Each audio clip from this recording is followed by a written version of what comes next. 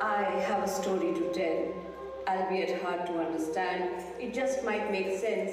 You see, I was born to rule the world and to break the misogynist fence.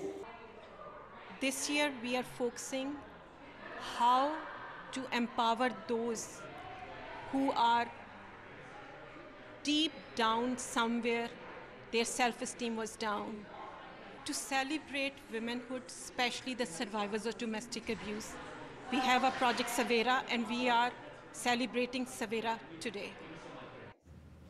ਇੱਕ ਜ਼ਮੀਨੀ ਪੱਧਰ ਤੇ ਸ਼ੁਰੂ ਹੋਈ ਸੰਸਥਾ, ਜਿਸ ਵਿੱਚ ਮਾਲਟਨ ਦੀਆਂ ਕੁਝ ਆਮ ਔਰਤਾਂ ਨੇ ਇੱਕ ਖਾਸ ਕਾਰਜ ਨੂੰ ਅੰਜਾਮ ਦੇਣ ਦੀ ਨੀਂਹ ਰੱਖ ਦਿੱਤੀ। ਮਾਲਟਨ ਦੇ ਰੈਡਨਸ ਗਰੁੱਪ ਵਿੱਚ ਇਕੱਠੀਆਂ ਹੁੰਦੀਆਂ ਭਾਰਤੀ ਮੂਲ ਅਤੇ ਪਾਕਿਸਤਾਨੀ ਮੂਲ ਦੀਆਂ ਔਰਤਾਂ ਨੇ ਕਮਿਊਨਿਟੀ ਦੇ ਮਸਲਿਆਂ ਬਾਬਤ ਸੰਵਾਦ ਰਚਾਏ ਅਤੇ ਉਹਨਾਂ ਨੂੰ ਆਪਣੇ ਪੱਧਰ ਤੇ ਨਜਿੱਠਣ ਦੇ ਤਰੀਕੇ ਵੀ ਲੱਭੇ।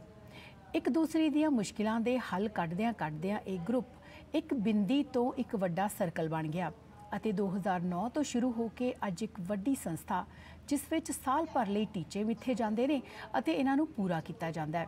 ਸ਼ੁੱਕਰਵਾਰ ਨੂੰ ਮਾਲਟਨ ਵਿੱਚ ਕਰਵਾਏ ਗਏ 13ਵੇਂ ਸਾਲਾਨਾ ਸਮਾਗਮ ਵਿੱਚ ਔਰਤਾਂ ਦੀ ਗੱਲ ਹੋਈ। ਔਰਤਾਂ ਦੀਆਂ ਕਲਾਵਾਂ ਪੇਸ਼ ਕੀਤੀਆਂ ਗਈਆਂ। ਔਰਤਾਂ ਦੀਆਂ ਕਹਾਣੀਆਂ ਸਾਂਝੀਆਂ ਹੋਈਆਂ ਅਤੇ ਔਰਤਾਂ ਨੂੰ ਸਨਮਾਨਿਤ ਕੀਤਾ ਗਿਆ।